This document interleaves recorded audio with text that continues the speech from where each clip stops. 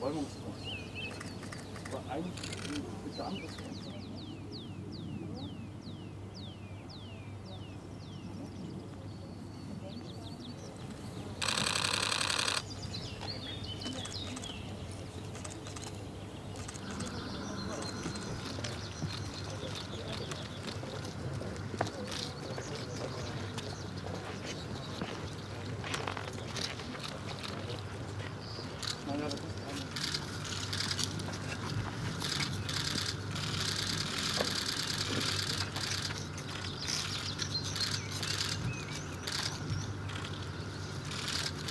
May I present Mr.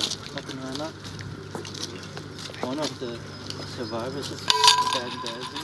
Yeah, it's first day. Yeah.